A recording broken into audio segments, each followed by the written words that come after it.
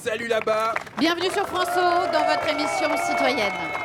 Quel public quand même C'est le public de Flash Talk, un véritable forum posé au milieu de la ville et de ses habitants. Aujourd'hui, Paris, place de la République, on parle de harcèlement scolaire. Un enfant sur dix serait concerné, peut-être plus, on ne connaît pas euh, exactement la réalité euh, des chiffres. Les victimes parlent peu, trop peu, euh, trop tard, euh, souvent, car il faut le dire euh, tout de suite, le harcèlement scolaire tue. Une collégienne de 11 ans s'est suicidée dans le Val d'Oise encore en juin dernier, une de plus, une de trop. L'éducation nationale est souvent pointée du doigt. Fait-elle suffisamment pour lutter contre ce phénomène? Flash Talk, c'est votre émission, c'est vous ici aujourd'hui qui allez faire ce débat avec nous.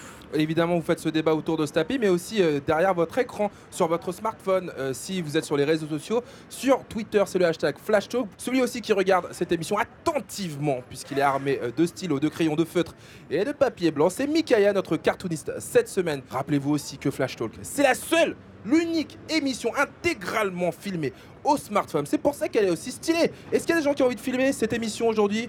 Bienvenue, c'est quoi ton prénom? Aminata. Aminata, bienvenue dans l'équipe. Et toi, c'est quoi ton prénom? Ayette. Bah non, c'est pas Ayette, c'est Lady Gaga, regardez Elle est venue incognito Ça va Ayette? Ayette, tu filmes l'émission quand même, fais pas ta star. À nous, Sonia. Alors, est-ce que quelqu'un aujourd'hui dans notre euh, public a déjà été victime euh, de harcèlement ou témoin Madame? Bonjour. Je m'appelle Sabine et je suis maman d'un élève qui est, enfin d'un enfant pardon, qui est en- actuellement victime de harcèlement, qui est actuellement euh, victime d'angoisse phobo-dépressive suite à son harcèlement, qui est donc sous antidépresseur, euh, qui a bénéficié hier d'un rendez-vous avec euh, l'équipe scolaire de l'éducation nationale pour aménager son emploi du temps. Il vient de rentrer en quatrième dans un nouveau collège puisque son harcèlement a fait qu'on a dû déménager.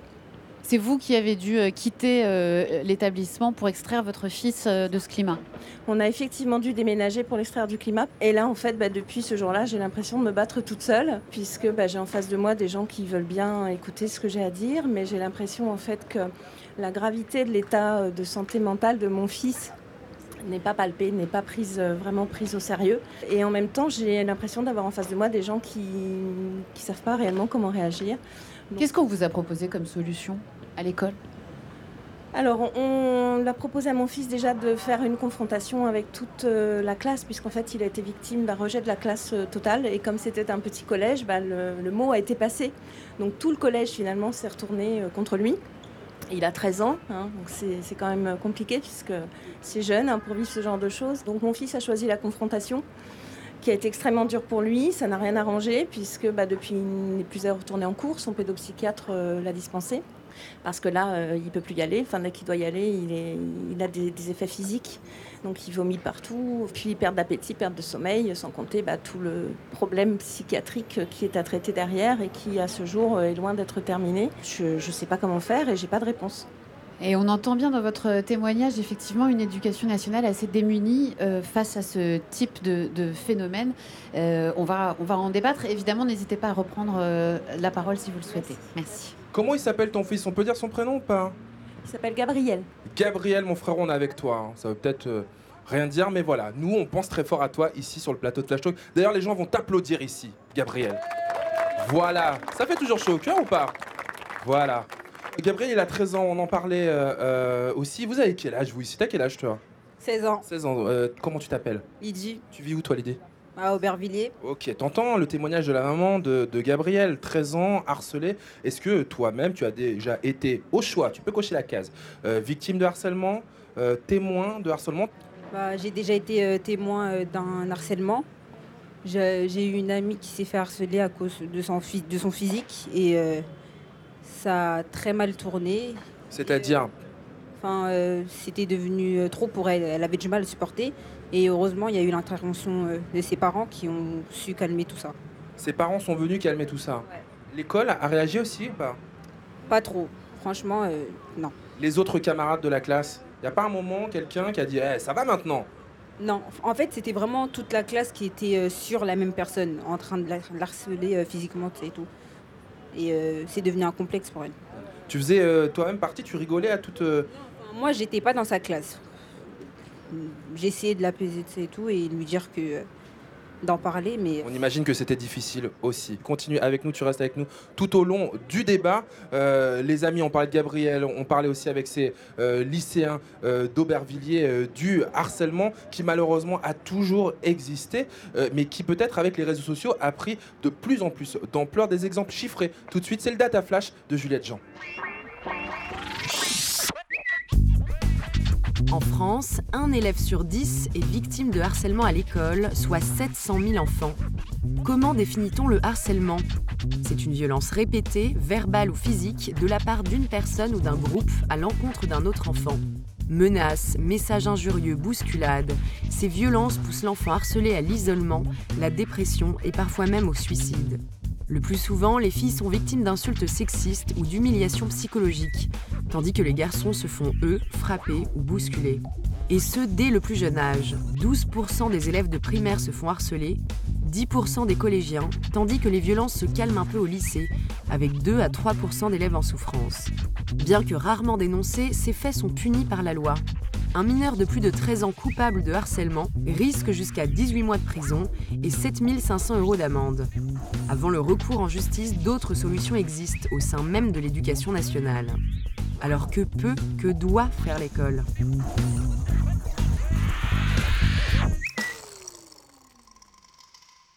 Alors que peu que doit faire l'école, et bien justement, on a une prof aujourd'hui euh, dans le public euh, de Flash Talk. Bonjour Elettra, merci d'être avec nous aujourd'hui. Merci. Vous êtes euh, prof à Janson de Sailly. Alors pour ceux qui n'habitent pas Paris, c'est un établissement euh, assez prestigieux de la, de la capitale. Il y a des phénomènes de harcèlement aussi à Janson de Sailly?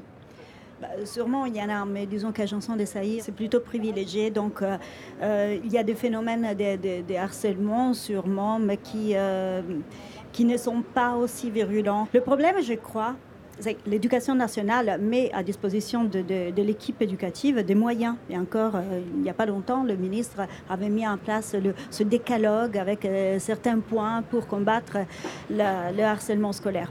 Mais le problème, c'est que les, harceleurs sont euh, souvent considérés comme des, des personnes à, éloigner de l'établissement. Et, quand on arrive finalement que la situation est tellement compliquée, comme dans le cas du fils de, Sabine, c'est trop tard. Alors qu'il existe une méthode qui a déjà été expérimentée dans d'autres pays, euh, qui s'appelle la méthode Picasso, où à travers un groupe de, professionnels, de psychologues, on essaie de briser le groupe. Et en brisant le groupe, on essaye de faire comprendre à la personne qui harcèle les raisons de son attitude. Alors moi, je peux dire qu'en en tant- pas en tant que professeur, mais en tant qu'élève, j'étais, euh, j'ai vécu la- le, le harcèlement, mais pas en tant que victime. J'étais moi-même, j'étais la personne qui harcelait. Je me rendais compte que ça me donnait une importance parce que j'avais un petit groupe qui me suivait et je m'en prenais évidemment à ceux qui avaient euh, des différences physiques, de caractère ou je ne sais pas quoi. Et euh, ces personnes étaient assez bêtes pour me suivre et faire tout ce que je disais. Seulement que je me suis aperçue que de, de la souffrance, et au lieu de, de me dire il faut que je continue, j'ai commencé à, à dire qu'est-ce que je peux faire pour aider cette personne que je suis en train de détruire? Comment vous avez fait pour avoir cette prise de conscience? Vous dites, je me suis aperçu que je faisais du mal. Comment vous vous êtes aperçu que vous faisiez du mal? Bah, J'avais autour de, de 13 ans, donc j'ai commencé euh, à comprendre certaines choses. Et tout d'abord, j'ai compris que la personne que j'ai harcelée était une personne intéressante. Et j'ai découvert qu'elle avait des qualités que je partageais même. Et, et je me suis, et j'ai compris aussi la souffrance que j'avais causée. Par contre, ce qui arrive, ce qui arrive aujourd'hui, pour revenir à aujourd'hui, c'est que le harceleur n'est pas pris en charge comme euh, une personne euh, qui doit être aidée, mais comme quelqu'un qui qu'on doit sévir. Voilà. Merci beaucoup euh, pour votre euh, témoignage, euh, Elettra. Vous reprenez la parole évidemment quand vous voulez, vous aussi, aujourd'hui. Une autre personne pleine de courage aussi euh, et qui va nous livrer son témoignage, c'est Alice. Bonjour Alice. Bonjour, Comment ça va hein? Ça va bien, merci. Tu vis où toi Alice? Charenton, Alice, euh, je peux te demander ton âge aussi? 26 ans. 26 ans. Et toi, tu nous dis avoir été aussi victime de harcèlement à l'école? C'est ça, et j'ai eu le malheur de passer aussi de l'autre côté du miroir. C'était principalement une mise à l'écart en fait de la part des autres élèves, où euh, j'étais soit pas invitée en fait aux événements que les, que les enfants organisent généralement, c'est-à-dire les anniversaires, les goûters. Ça peut paraître anodin, hein, mais pour un Mais à enfant. cet âge-là, c'est tellement blessant. Bah, techniquement, oui. Et le peu d'anniversaires où j'ai pu être invitée, par exemple, soit on jetait les cadeaux que j'offrais, soit on en faisait des. on shootait dedans, enfin bref, on les dégradait. Soit euh, on finissait par se moquer de moi et moi je m'enfermais dans les toilettes pour pleurer, en fait, pour faire simple. Et puis, euh, euh, tu dis, tu es passé de l'autre côté. Qu'est-ce que ça veut dire? Euh, ça veut dire qu'en fait, à partir du collège, vers la quatrième, euh, j'avais réussi à m'intégrer à, à un groupe de, de- de filles avec qui je m'entendais plutôt bien. Et euh, une nouvelle élève est arrivée qui s'est elle aussi intégrée à ce groupe et on a commencé à lui trouver des surnoms, à l'enfermer dans les toilettes. Je m'en suis jamais pris à elle, mais j'étais complètement témoin et je savais très bien ce qui se passait en fait. Mais qu'est-ce qui explique alors que tu n'es pas dénoncé, arrêté, essayé de stopper euh, les filles avec qui tu étais? Parce que probablement moi-même ayant vécu ce genre de choses juste l'année d'avant où des élèves me frappaient, euh, je me suis retrouvée à juste me dire que c'était normal en fait, c'était l'ordre des choses et que cette personne devait y passer et que moi si, j'y avais survécu, bah, elle y survivrait aussi, on s'endurcit et, euh, et je me suis dit que c'était pas moi, donc tant mieux. Et voilà, Comment est-ce que tu vis euh, cette histoire aujourd'hui? Comment est-ce que tu la portes? Comment est-ce que tu l'as su? Psychologiquement, je sais que j'ai un, un gros manque de confiance en moi-même et ça, j'ai beaucoup de mal à le réparer encore aujourd'hui. Et, euh, ça, je sais que ça vient de là, donc euh, ça me pèse toujours, même si je suis passée à autre chose. Quoi. Merci en tout cas euh, pour ton témoignage et puis tu restes avec nous hein, tout au long de l'émission. Merci. hein. Et depuis quelques années, c'est vrai qu'il y a eu une prise de conscience hein, qui a eu lieu au niveau de l'éducation nationale. On a vu Jean-Michel Blanquer, le ministre de l'Éducation, qui a annoncé un certain nombre de mesures. On l'a pas encore dit, c'est très important qu'un numéro vert a été euh, mis en place. Euh, ce numéro, c'est le 30-20. Il reçoit de plus en plus euh, d'appels. Et c'est en partie grâce à vous, Nora Fraisse. Bonjour, merci beaucoup d'être euh, avec nous euh, aujourd'hui. Euh, Nora, vous êtes la maman de Marion, qui s'est donné la mort le 13 février 2013. Elle avait 13 ans, Marion. Elle ne supportait plus le harcèlement qu'elle subissait euh, euh, au collège. Depuis, vous avez fait de la lutte contre le harcèlement à l'école un combat euh, euh, personnel. À l'époque, vous aviez alerté le collège sur ce que vivait euh, euh, votre fille. Vous n'aviez pas forcément euh, été entendu. En fait, Marion avait laissé une lettre et en faisant des recherches, j'ai compris qu'elle avait été harcelée. Il faut noter que le délit de harcèlement à l'école n'existe que depuis 2014. Donc, en fait, on pouvait dire qu'elle était harcelée, mais on ne pouvait pas combattre ce sujet-là. Et puis, euh, oui, on n'a pas été entendu, mais comme euh, bon nombre d'enfants. Et puis, à l'époque, ce qui m'avait marqué, c'est qu'on pensait que c'était, en tout cas, moi, c'est ce qu'on m'avait renvoyé, c'est un cas isolé.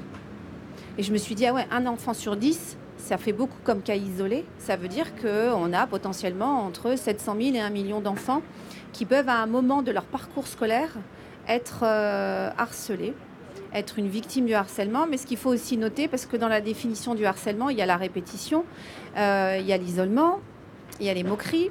Mais euh, en fait, le harcèlement, c'est un phénomène de meute. Et il faut rendre ces auteurs acteurs de la solution. On prend en charge la victime, parce qu'il y a urgence. Mais euh, c'est un projet global, quoi. Il faut vraiment, il faut vraiment lutter, puis travailler les uns avec les autres, les médecins scolaires, les médecins de ville, euh, les juristes, euh, les parents, le périscolaire, former aussi. Il faut que tout le monde, voilà, ceux qui regardent l'émission, leur rappeler que c'est le 30-20 et il y a le 0800 200 00, c'est net écoute si vous êtes cyberharcelé. Le pire dans le harcèlement à l'école, c'est l'exclusion sociale. Moi, je suis là après tout ce qui m'est arrivé euh, et, et voilà, je pense qu'on peut le faire. Voilà, tous ensemble, toujours. Merci beaucoup. C'est quoi ton prénom toi Je m'appelle Farouk, Ça va Farouk Où est-ce que tu vis j'habite à Reims. À Reims. On est un peu ému hein, toutes et tous euh, autour du tapis de Flash Talk. Qu'est-ce que tu avais envie de dire toi Farouk? Euh, j'ai pas été harcelé personnellement et dans mon collège et dans mon lycée, je n'ai pas été témoin. Euh, cependant, je travaille dans des collèges et des fois, je fais des cours particuliers à des élèves. L'année dernière, j'ai perdu un élève qui avait que 10 ans et qui s'est suicidé à cause d'harcèlement scolaire. Le collège était au courant, euh, les parents étaient au courant. L'éducation nationale, qui est donc le socle en fait de la République, ne euh, protège pas l'avenir de, son avenir à elle. En fait, c'est très dangereux et très difficile. On va reparler euh, de toute façon de tout ça avec des gens du corps enseignant. Merci beaucoup Farouk. Beaucoup de réactions également sur le hashtag FlashTalk. Princesse Sarah par exemple nous dit quand votre enfant vous dit qu'il ne veut pas retourner à l'école, écoutez-le. Toujours, c'est en majuscule. Une amie vient de me parler de son fils. Ne surtout pas dire à son enfant de supporter, trouver des solutions. Si l'école euh, n'agit pas, changez d'école. Le harcèlement scolaire est très dangereux. Mikaya, comment ça va? Tout va bien, merci beaucoup. Ah bah ouais, malgré la pesanteur aussi qu'on sent dans l'émission, hein, c'est assez euh, compliqué aujourd'hui. On est entre euh, l'émotion et, et, et- et aussi euh, on est fâché évidemment de tout ce qui se passe. Mais toi, qu'est-ce que tu as pu mettre sur ton papier? On a vu que cet harcèlement peut être euh, physique et même aller jusqu'à la mort. Et j'imagine euh, un élève justement qui est en train de tabasser son copain et, on parle d'est-ce que l'école est complice? Et il dit euh, au professeur ben oui, vous n'arrêtez pas de nous parler d'enseignement. Oh oui, alors là, hein, le AI et entre le AI et le EI, il y a forcément pas beaucoup de différence. Et puis Sonia a parlé d'un numéro, un numéro important, un numéro gratuit Stop Harcèlement au 3020. Et, j'imagine les opérateurs derrière et, quelqu'un qui dit c'est l'enfer, ça n'arrête pas de sonner. Et son collègue qui dit c'est du harcèlement. On peut en tout cas leur, les féliciter hein, aussi, hein, les gens qui répondent au téléphone pour ce travail, Sonia. Euh, Moi, je me trouve av- avec euh, Benjamin Moignard qui est avec nous euh, aujourd'hui. Benjamin, vous êtes professeur des universités à l'université de Cergy-Pontoise, spécialiste des nouvelles problématiques éducatives. Est-ce que vous diriez que l'école a trop souvent tendance à minimiser les phénomènes de harcèlement et qu'elle a du mal encore à y répondre, même si on a vu qu'il y a une prise de conscience, ça c'est indéniable Je crois que ça a été bien dit euh, par la maman de Marion tout à l'heure. On est un pays qui a réagi sur ces questions-là de manière assez tardive par rapport aux autres pays européens. On a presque 20 ans de retard sur la manière avec laquelle on, a pris en, charge cette question du harcèlement. Il y a 10 ans, vous en parliez, c'était même pas un sujet. On vous disait que c'était quelque chose de normal, un truc de gosse euh, qui avait toujours existé. Euh, donc l'école s'est- mobilisée en adossant à la fois des supports pédagogiques, en nommant des personnes référentes aussi dans les différentes académies. Deux directions importantes. La première, c'est comment on améliore le climat scolaire dans les établissements, comment on fait pour que ces questions relationnelles, euh, la manière avec laquelle les élèves sont les uns avec les autres, se sentent écoutés, accompagnés, euh, intervient et pèse sur ce climat scolaire. Ça, c'est très important. Et l'autre aspect, ça a été dit bon, dans, dans beaucoup de témoignages, c'est le rôle clé des témoins. Euh, le fait qu'on n'a pas juste un harceleur et un harcelé. Euh, on sait que ça, c'est la porte d'entrée vers laquelle il faut aller. Comment est-ce qu'on fait pour que les autres élèves qui assistent à des situations de harcèlement se sentent autorisés à agir, se sentent autorisés à intervenir Mais il y a du travail encore, bien sûr. Vous parlez des, référents dans l'éducation nationale. On a la chance euh, d'en avoir une euh, aujourd'hui avec nous. Bonjour Lucie Pitiot. Euh, vous êtes référente donc harcèlement de l'Académie de Strasbourg. C'est quoi référente harcèlement? En quoi consiste euh, votre mission? Un référent euh, harcèlement, en fait, il a trois missions. Euh, La première, c'est de s'assurer qu'il n'y a aucune situation de harcèlement qui a été détectée dans un établissement spontanément par des élèves témoins ou par les professeurs, ou qui a été dénoncée par la famille via le 30-20 ou directement par un appel au rectorat. Euh, la deuxième chose, c'est qu'il faut pouvoir professionnaliser le geste, organiser les choses dans les établissements scolaires. Ça veut dire déployer de la formation, chaque année, dans une académie comme la nôtre, on forme plus de 600 adultes à la détection, à l'accompagnement des situations de, de harcèlement. Euh, on fait aussi de la sensibilisation et de la prévention auprès des élèves. Ça veut dire chaque année entre 15 000 et 20 000 enfants. Et la dernière chose, et on en a parlé aussi au cours de ces témoignages, c'est de faire en sorte que les élèves eux-mêmes deviennent acteurs euh, de cette euh, prévention. Ils deviennent eux-mêmes ambassadeurs contre le harcèlement dans les collèges, dans les lycées, pour poursuivre ce travail. On pose aussi la question de ce côté-là. On a des lycéens qui assistent à cette émission. Les filles, les filles, dites-moi tout à l'heure, on parlait à l'instant de d'ambassadeurs dans les établissements scolaires, euh, des espèces de médiateurs de vos âges. Qu'est-ce que ça peut vous inspirer? C'est quoi ton prénom, toi Kadija. Kadija. Alors, si jamais euh, on avait besoin de- de- d'ambassadeurs, d'ambassadrices dans les écoles, qu'est-ce que tu en penses? Bah, Pour dénoncer justement ce harcèlement scolaire. déjà, je me porterai volontaire, je pense. Bon, j'ai déjà une volontaire, hein, j'en ai déjà eu, Lucie, une déjà. Une vraie question quand même, parce que on se, on se sait, on a tous été à l'école, à un moment on a des petits frères, des petites sœurs. Pourquoi qu'est-ce que quelquefois on est tenté de ne rien dire? De laisser faire, de rigoler avec les autres, ou au contraire de se dire, bah, c'est pas mon problème. Un point de vue assez euh, surprenant. Ici, c'est quoi ton prénom? Sadati. Sadati. Qu'est-ce que tu me disais sur le harcèlement, toi?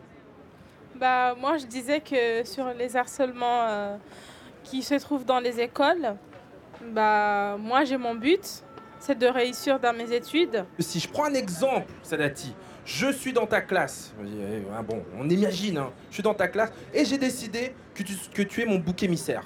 Tous les matins, je vais te vanner. Tous les matins. Comment tu vas réagir? Est-ce que tu vas être indifférente?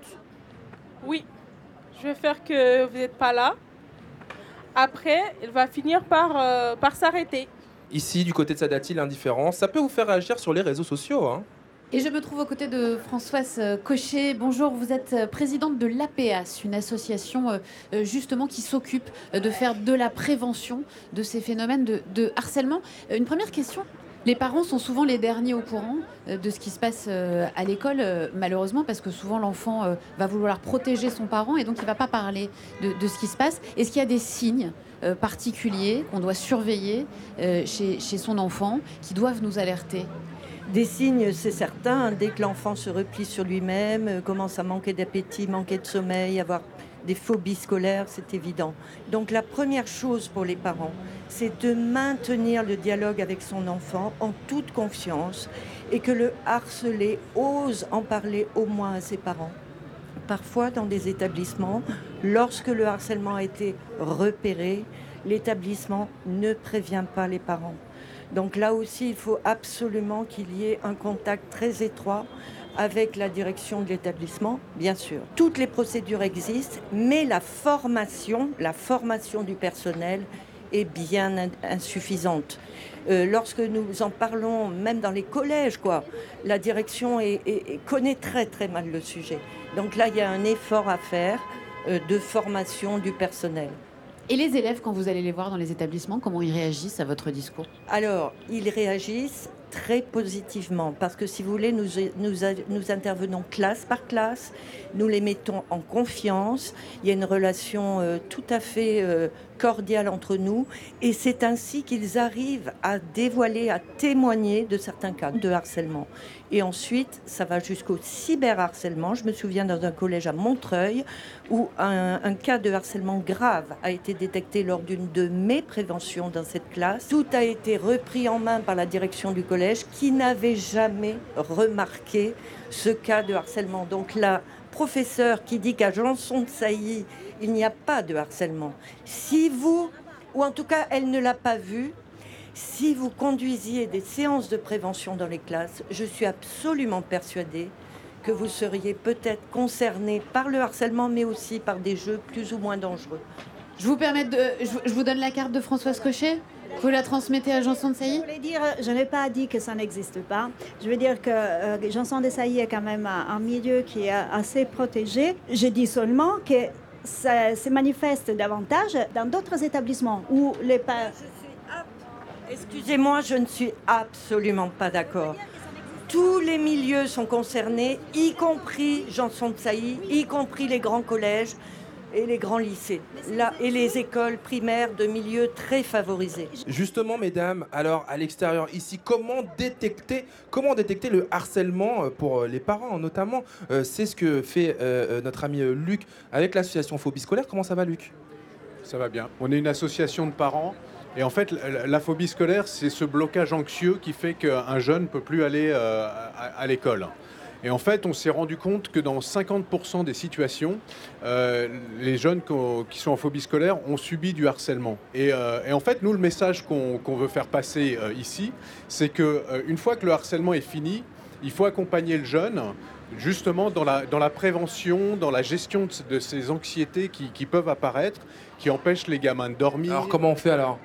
Eh ben, une fois qu'il y a un harcèlement, il faut que les parents euh, et les enseignants euh, euh, soient conscients qu'il y a des effets long terme après coup et que bah, reprendre confiance, redonner confiance aux jeunes par des activités artistiques, par du sport, par certains, voilà, la sophrologie, yoga. D'ailleurs, nous on a, fait un livre avec Génération Solidaire, donc qui est une association de prévention du harcèlement pour justement faire passer ces messages-là et pour informer, parce que les gens, il y a toute la, prévention et la gestion du harcèlement, mais l'après, ça doit être pris en compte. Totalement, Luc, on est d'accord. De la destruction à la reconstruction. Un hein. très bon bouquin. Merci beaucoup, euh, Luc, de Phobie scolaire. Ah là là, le voici, celui-ci. Mikiaya, il va conclure l'émission. Alors, qu'est-ce que ça t'a inspiré? Jusqu'où ira-t-on? Et un gendarme qui est dans une classe qui dit non le fait que ton professeur te demande de réciter ta leçon ne peut en aucun cas être considéré comme du harcèlement. Ça, c'est totalement vrai, c'est vrai ça. Et pour finir, j'imagine un adolescent hein, qui, qui va voir ses parents et les parents qui disent Alors, comme ça, tu as harcelé à l'école Et pourquoi tu l'as pas dit plus tôt? Et tu t'es laissé faire? On passe pourquoi, nous, maintenant? Quelle mauviette tu fais? T'es vraiment trop nul, raté, crétin. Ça, c'est assez terrible et je suis sûr que vous rougissez un peu parce que quelquefois vous vous reconnaissez dans les dessins de Mikaya. Merci Mikaya, vous pouvez l'applaudir. Avant de conclure cette émission, je voudrais donner la parole à Benjamin Moignard. Est-ce que le harcèlement touche de la même manière tous les établissements euh, scolaires, tous les milieux sociaux? Oui ou non? Oui, une idée fausse qui consiste à dire que bah, le harcèlement, c'est plutôt euh, euh, dans les milieux les plus populaires qu'on en trouverait le plus. C'est absolument faux. On a des établissements très favorisés qui sont confrontés à beaucoup de harcèlement. L'inverse existe aussi, des établissements de l'éducation prioritaire qui réussissent à faire diminuer les niveaux de harcèlement. C'est quelque chose d'important à avoir en tête pour agir. Merci beaucoup euh, Benjamin, merci à tous d'avoir euh, participé à ce débat aujourd'hui dans Flash Talk. Mais attention, le débat ne se termine pas puisqu'il vit encore sur les réseaux sociaux avec le hashtag FlashTalk. Il y a par exemple Didi for Life qui nous dit le morceau fragile de Soprano qui est l'artiste préféré de Sonia, parle vraiment bien de la situation des élèves harcelés. Il dit euh, si fragile, tous ces mots ont fini par la briser, elle qui ne voulait être qu'aimer. C'est sur ces mots qu'on se quitte. Et sur un numéro de téléphone, on vous le rappelle une dernière fois, le, Le 30 30 20. 20. Merci à tous. À Salut. très vite.